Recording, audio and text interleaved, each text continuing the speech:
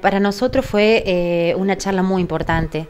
Yo creo que nos llamó a reflexión como docente y como mamá también esta problemática que está tan este, a piel de, todo el mundo, de, lo que es las adicciones, la problemática social de la violencia, la problemática del alcohol de los jóvenes. Eh, fue una convocatoria muy importante y tuvo una idea muy linda, esta lo que es la Junta de Participación, de haberla traído. Eh, ojalá que continúen con este tipo de charla, pero hubiera sido interesante que fuera abierta, ¿no es cierto?, a la comunidad. Eh, yo creo que al margen de las autoridades tendrían que haber habido padres también, porque era para todos. O sea, nosotros reflexionábamos ante esta charla y te digo, lo hacíamos como mamá y como docente. Eh, pero sí hubiera sido muy interesante que estuvieran los papás y, y podrían analizar muchas veces los hechos de que por qué hay tanta problemática de déficit de atención, por qué tanta problemática y por ahí podemos encontrar algunas respuestas, no todas. Pero bueno, ella lo hizo con una profesionalidad, eh, esta licenciada que le hizo muy bien, eh, lo bajó de tal manera que todo comprendimos perfectamente y pudimos interiorizarnos y preocuparnos más aún de lo que estamos preocupados, ¿no? Sí. Eh, vos decías, ¿no? Que tendría que haber sido abierto para todos los papás. Pero bueno, de alguna manera los chicos cuando tienen 5 o 6 años, los primeros que reciben a los chicos son los docentes. y por ende, perdón, detectan alguna problemática que después se lo hacen saber los padres. Sí, eh, no todos los padres te responden de la misma manera. Muchas veces los papás, eh, a veces, no siempre, o sea, no es general, a veces es como que se enojan con la docente cuando vos le querés ver alguna problemática que tiene su hijo. No todo lo aceptan bien.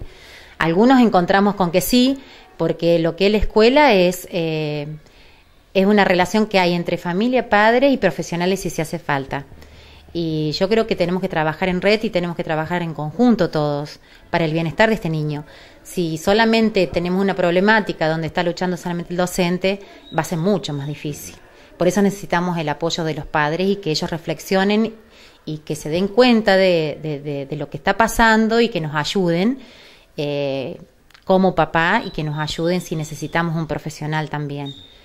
Te digo, esto es en la escuela, el trabajo que nosotros en la escuela eh, es un trabajo que se hace en conjunto con la familia, nosotros y el niño.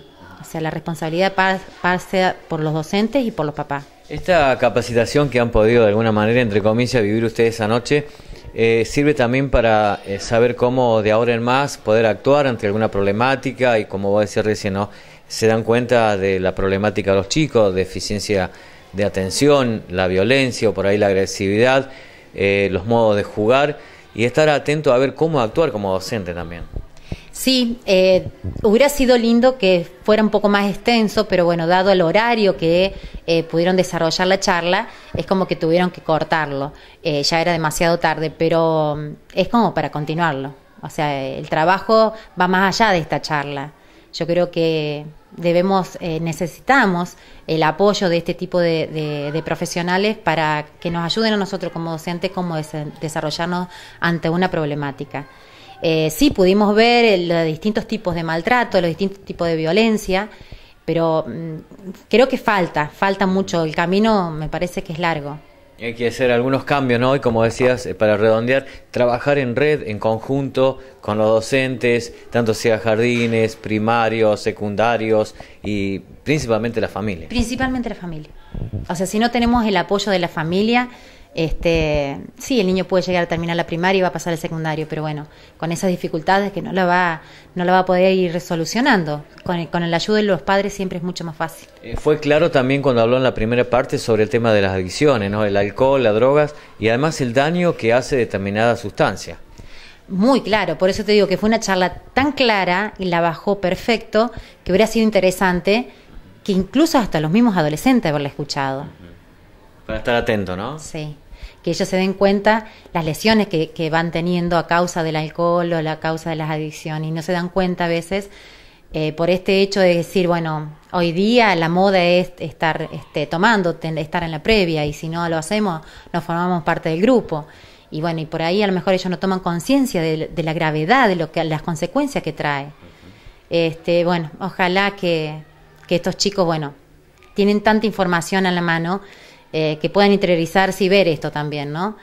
eh, no solamente para, para chatear, tenemos internet, o sea, internet nos brinda muchas posibilidades, muchos conocimientos y lo tenemos que saber aprovechar.